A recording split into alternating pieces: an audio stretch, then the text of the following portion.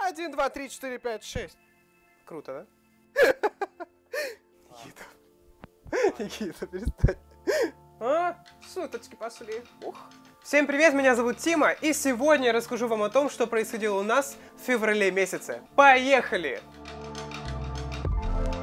6 февраля пастор Александр проповедовал на очень важную тему, объединяя поколения. В книге пророка Малахии сказано, что перед наступлением Дня Господня Бог пошлет на землю Илью пророка, чтобы обратить сердца отцов к детям, а детей к отцам, мы нужны друг другу, детям отцовство, а отцам будущность. Только лишь от нас самих зависит, каким образом будут складываться отношения между поколениями в церкви и обществе. В этом месяце молодежная церковь провела целые три общие молитвы. Первая состоялась 5 февраля перед лидерским собранием. Это было крутое время вместе с Богом.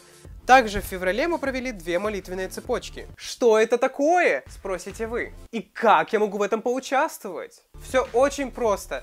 Мы берем 24 часа, начиная с 9 часов утра в пятницу, заканчивая 9 часами утра в субботу. И распределяем по часу на каждого, кто хочет принять в этом участие. Для того, чтобы присоединиться к молитвенной цепочке, вам нужно быть подписчиком нашей группы ВКонтакте, в которой мы в скором времени выложим всю подробную информацию. Конечно же, февраль является особенным месяцем, потому что в нем было 29...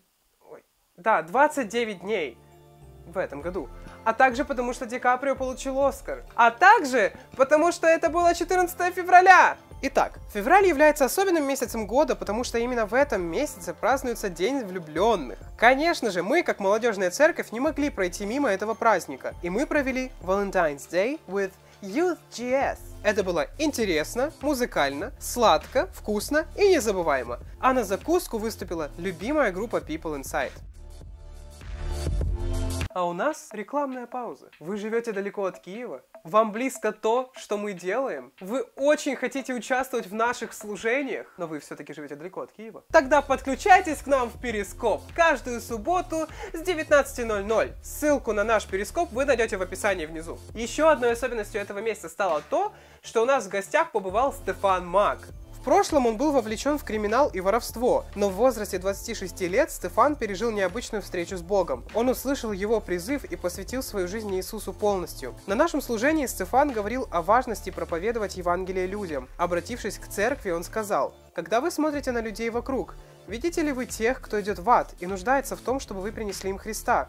Являются ли ваши сердца сострадающими и сокрушенными? Только сокрушенное сердце перед Богом желает жить не для себя, а для Бога и для спасения других людей. Если вы хотите услышать эту проповедь, то заходите к нам в группу ВКонтакте, и вы найдете ее там в аудиозаписи. Также в этом месяце прошла молодежная миссионерская школа, в которой участвовал наш пастор Александр и которую мы посетили. Это было невероятно классное время, обучение, поклонение, и это реально было очень круто. Ну а на последнем служении месяца пастор Александр отвечал на вопросы, которые задавали нам ребята из церкви и наши подписчики с Ask.fm. Это было интересно, вдохновляюще и назидательно. Ура! Наконец-то прошло первое занятие курсов для вступающих в брак. Если вы молодая пара и хотите присоединиться, то обращайтесь к Ильенко Насте.